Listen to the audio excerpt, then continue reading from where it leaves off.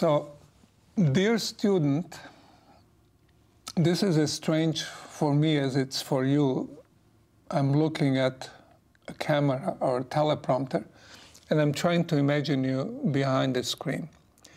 So, if you were in my office and you asked me a question, I would go to the blackboard, just like the one shown here, and I would write formulas and try to explain things step by step just as it's done on this blackboard. This blackboard is actually taken from the second part of this course, uh, part on zeta functions.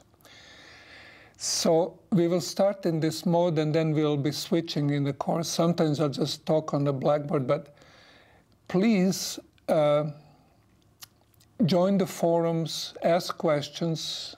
Uh, we here at Georgia Tech will try to answer them if the other participants in the course don't answer them. And if there is something that's not clear about this video, just tell us. You know, we can re-record them or we can add additional material. So imagine that this is really a relationship between a professor and a student, even though the fate has taken us apart.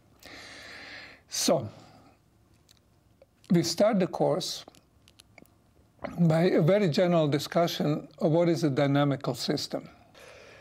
And Dynamical system is something that's very intuitive. It's a very classical notion. It's how Babylonians thought about these things. They thought that there was a celestial orb, and uh, you know, so that is what we call a state space.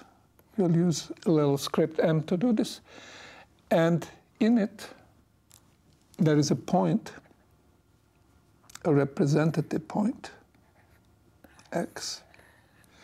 And the idea of state space is that if there is a D numbers, a D could be one, two, or 100,000 or a million, but that's what we call a dimension of the state space.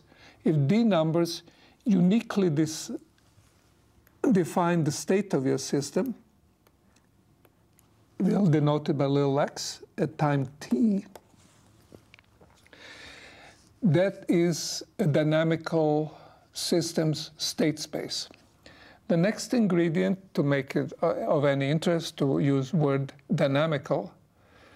Now, before we do that, you have to understand that while you might think of a state space as, uh, you know, a billiard ball on the table and its position, it's typically much higher dimensional. So even it's for billiard ball on a uh, table, it's not only where that ball is, but it's only also how fast it's moving. So even for a billiard board, you need four numbers to specify. In that case, we call it a phase space if it's Hamiltonian system, but that's not so important. But kind of dynamical systems we'll think about can be very, very complicated. So here is an example. This here is an instant of a fluid visualized in some way that has to do with vorticity of fluid, etc. But you can imagine there's a pipe, there is fluid in it, and you take a snapshot of it sometime. And this is a state of the fluid. If I have coordinates and values of all the numbers I need to specify it, that's an example of state space. This one could be 100,000 dimensional, and amazingly enough, today experimentalists can actually measure this. So this is taken from the thesis of Casimir van Doorne in 2004. A graduate student could actually measure a state of a fluid. So that's another extreme what you mean by state space. So when we state, say state space, we might mean something very, very rich. It's not just, you know, position or where your car is in a parking lot or something like that. So, the next thing we need in dynamical system theory is to describe the dynamics. So the idea of dynamics is that we define a law which describes what happens to every point in that state space. If I start here I will move in time to someplace here, time till later. And that will be described by a law which we often call a map, at least mathematicians like to call this time forward map.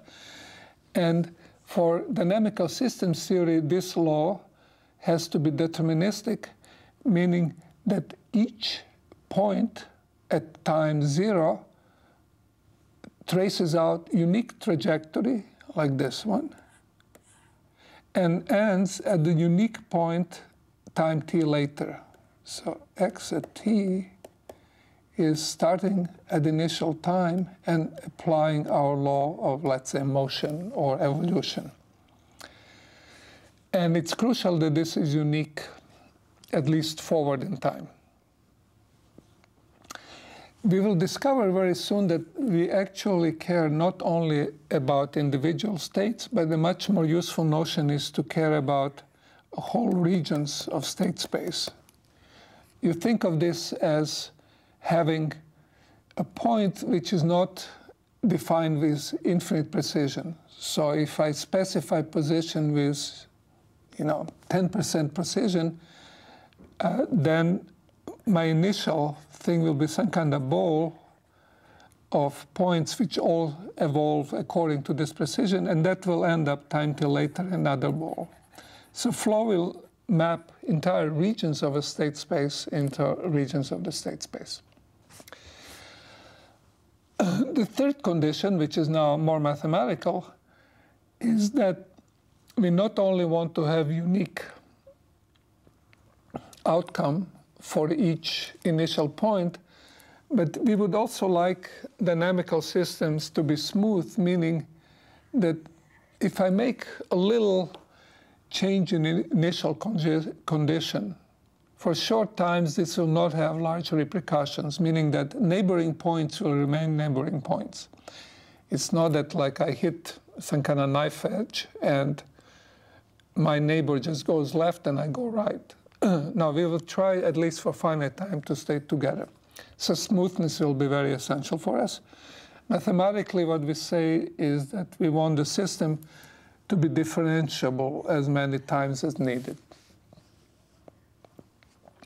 So that brings us to being able to define deterministic dynamics. And deterministic dynamics is state space plus evolution rule, which has unique future. So dynamical system uh, is the pair state space and the law of motion which doesn't have to be time. There are some more abstract dynamical systems, which is the law of evolution, law of motion. If you have learned Newtonian mechanics, which you have, otherwise you wouldn't be in this course, you would not, uh, that would be the most natural thing to think about.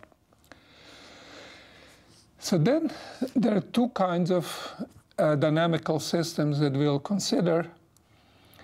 And uh, depending on the context, and they're really one-to-one -one related, but sometimes we think of evolution as evolution in a continuous time. So we look at our clock and you know every microsecond something happens. And in that case, we call the law of flow. Neighboring, neighboring points in state space are moving like fluid is moving. Or you can imagine a different situation.